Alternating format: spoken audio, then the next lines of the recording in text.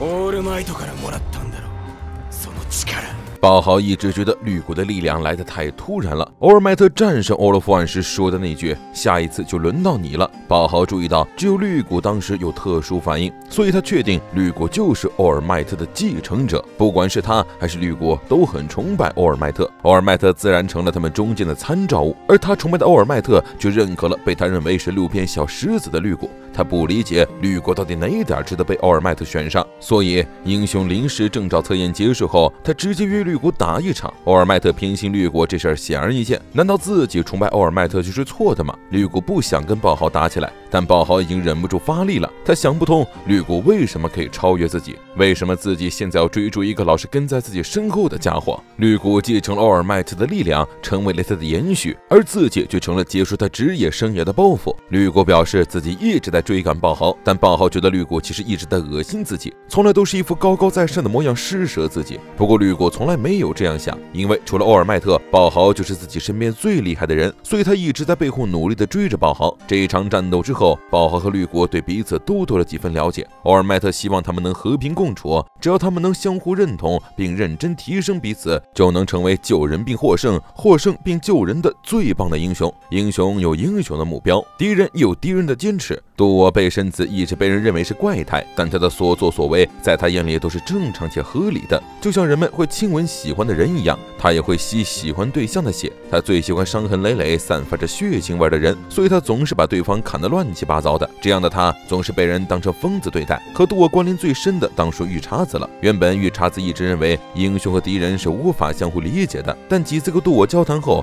他对杜我改观了。一开始杜我总是追问他关于绿谷和恋爱的问题，完全是个。喜欢聊恋爱话题的青春少女。后来大作战开始，杜我问玉茶子会怎么处置他，玉茶子给出的答案是。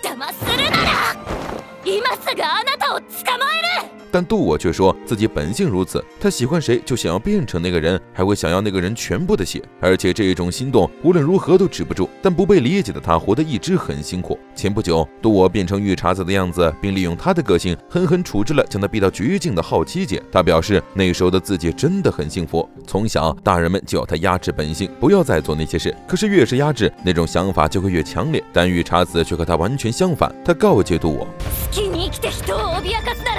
その責任は受け入れなきゃいけない！听到这话，杜我眼角渗出了眼泪。御茶子不明白那时候的杜我为什么会流泪，又为什么要夺走人们的幸福。但正因为不了解，所以才想更深入的了解他。另一边，红蛟洞猛然醒悟，原来图皮很久以前就跟他们暗示了他的身份。在林间集训，红蛟洞第一次见到图皮的时候，图皮就跟他打招呼了，但他并没有意识到这一点。而后，安德瓦在九州与特级脑无战斗的时候，图皮也现身跟他打了招呼，但他们都只是单纯的把他当成敌人联军的人。可怕的是，当时。的苍岩是比他们老爸安德瓦还要强的憎恨之火。红蛟洞从小都被安德瓦灌注了超越欧尔麦特的期望，因此他必须时时刻刻努力，不能跟哥哥姐姐一起玩，而且还遭到了母亲轰冷的厌恶，被泼开水，留下了大片伤疤。红蛟洞知道这都是父亲造成的，所以早些时候他很讨厌安德瓦，而且不愿再用燃个性战斗。但绿国告诉他，不管是哪种个性，都是来自他的力量。母亲也说过，没必要被血缘束缚，只要成为自己想成为的人就好了。最终，他接受了燃的个。性朝着自己的英雄之路前进了，可是亲哥哥登时却在这一条路上成了敌人图皮。半燃半冻的轰蛟洞出生以后，安德瓦的注意力便全部转移到了他的身上，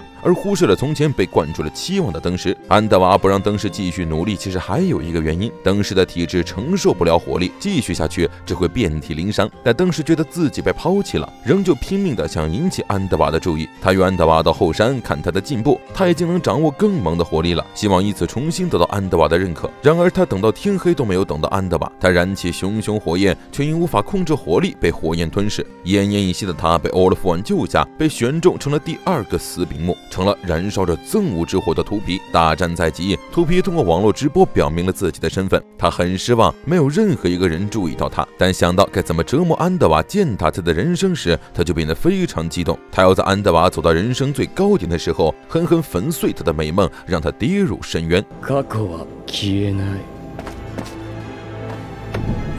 自業自得だぜ。地獄で俺と踊ろう。安德瓦不敢相信秃皮就是灯师，但这是不容改变的事实。秃皮狠狠地报复了他，也让他意识到了过去的自己错得有多离谱。除了他以外，洪家的其他人也在反省。毕竟，秃皮的悲剧不只是安德瓦一个人的责任。洪冷和三姐弟与安德瓦沟通后，几人才终于成为了真正意义上的家人。洪教栋知道父亲无法对亏欠的灯师哥动手，所以他要代替父亲打倒灯师哥。